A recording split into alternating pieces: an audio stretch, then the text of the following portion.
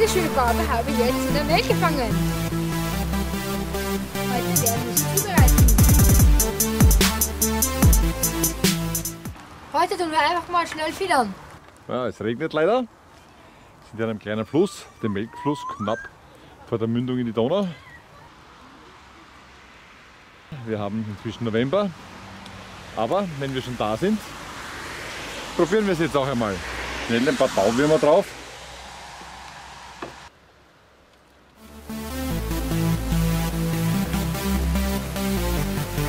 Wenn euch unser Video gefällt, abonniert bitte unseren Kanal. Kaum ist es finster, fangen die Fische wieder an zu beißen. Auch hier in der Melk ist das nicht anders. Gleich nach Einbruch der Dunkelheit der erste Biss. Ja. Ein Eitel. Sehr schön.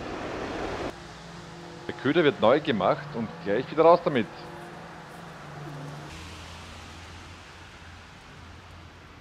Und gleich noch ein Biss. Kurz nachdem wir einen kleinen Eitel gefangen haben.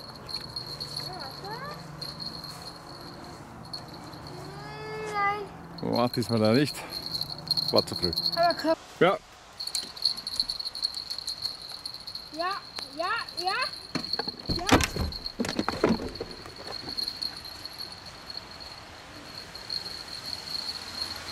ja. Wieder ein kleines Eitel. Wieder ein Eitel. Oh, endlich ein gescheiter Fisch. Ja.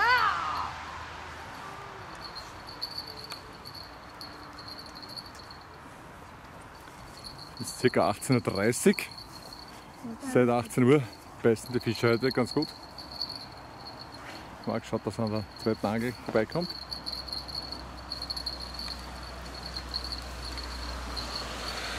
Ich sehe nicht. Ja, es wird schon was kommen. Ja, da kommt was. Ja, ich Ja, was glaub. Größeres.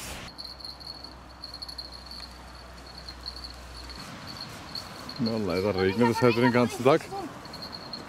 Naja, sie zieht noch. Barbe nach der Fiederroute in der Melk. Im November.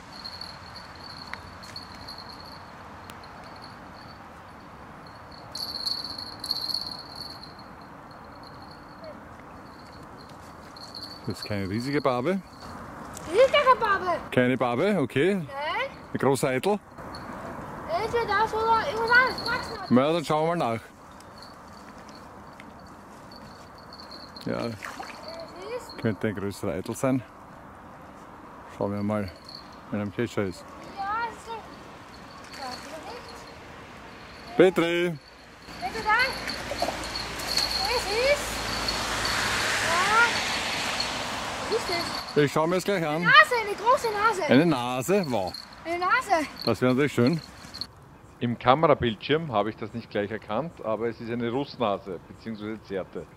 Eine Russnase bzw. Zerte mit 45 cm. Steht aber heute nicht auf unserem Speiseplan als Retour in die Melk. Ich habe eine sehr schöne Nase im Fluss gefangen.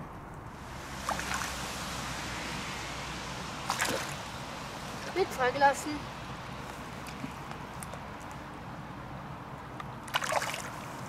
Und weg ist sie. Jetzt versuchen wir es auf einer Route mit Maden.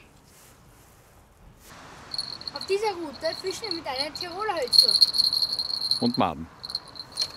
Genau. 19 Uhr, wir warten auf die nächsten Bisse. Und es geht schon los, Marc. Und der nächste Biss. Ja, das ist sie, das ist sie. Was ordentliches. Ja, Wir haben inzwischen umgesattelt auf Maden auf dieser Route. Mal schauen, was da kommt. Ja. Marc geht runter. Bei Böschung kann man den Fisch nicht drillen. Ja, es ist wieder etwas Längliches. Da schauen wir mal, ob Barbe oder eventuell wieder eine Nase. Ja, das ist eine Barbe jetzt. Ja, eine Barbe. Ja, auch in kleinen Flüssen ja. kann man schöne Fische fangen. Lass da bleiben, Papa. Du hast mir.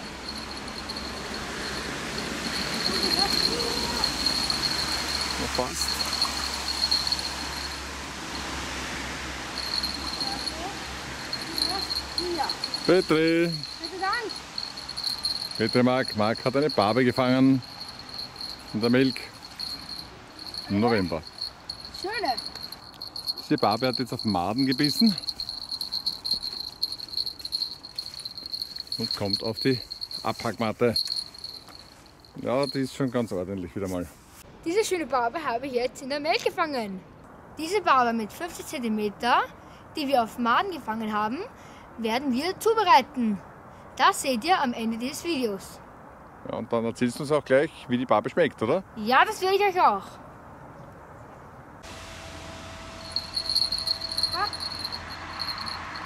Gut. Ja, ich glaube. Nein! Hä, was ist los? Abgefressen. Und auch ein Biber ist wieder mal hier.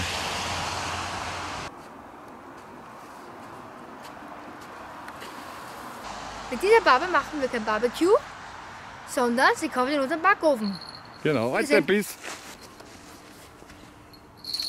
Und Anhieb. Ja, hier geht es Schlag auf Schlag, auch im November.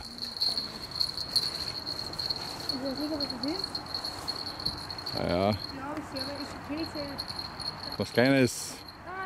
Ein Eitel wieder. wieder. Ein Eitel in guter Köderfischgröße. Es ist jetzt etwas über zwei Stunden dunkel. In diesen zwei Stunden haben wir immerhin gefangen drei Eitel, also Döbel, eine Barbe und eine Nase. Wir haben jetzt fünf Fische innerhalb von zwei Stunden gefangen. Das ist für November ziemlich gut. Ja, wir haben jetzt, was wir wollten und können jetzt nach Hause fahren. Genau.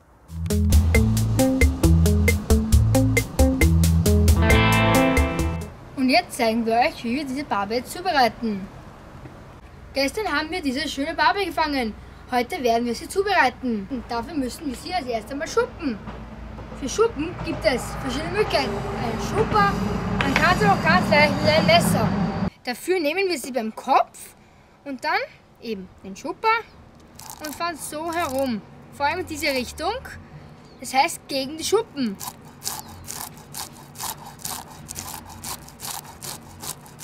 Macht das lieber nicht in der Küche, denn die Schuppen fliegen kreuz und quer.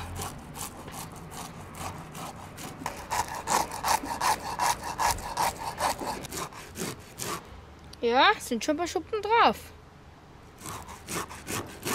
Natürlich muss man das Ganze auch auf der anderen Seite machen.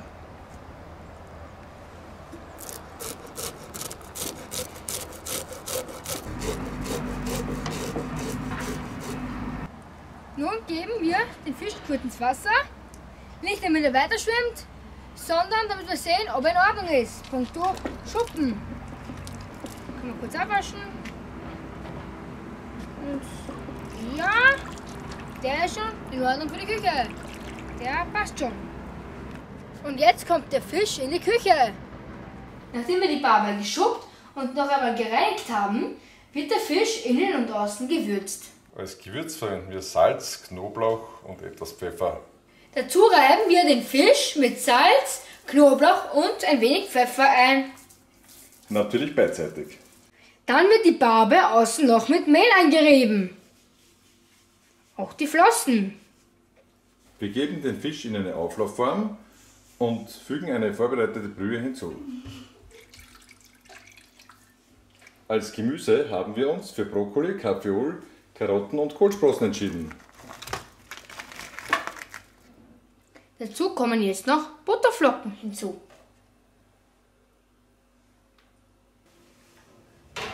Das Ganze kommt dann in das Backrohr.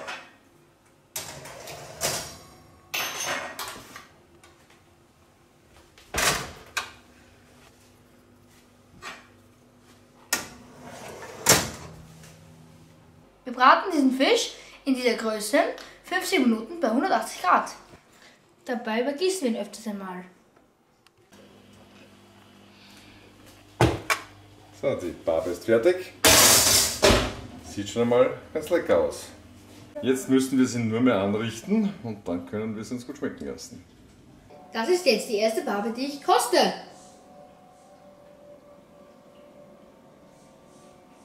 Mhm, die schmeckt super. Mahlzeit, lasst es dir gut schmecken. Danke. Wenn euch unser Video gefällt, abonniert bitte unseren Kanal.